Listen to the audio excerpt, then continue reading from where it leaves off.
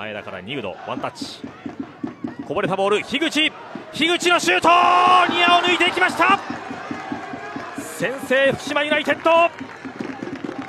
樋口は膝の大怪我から復帰して初ゴールになります。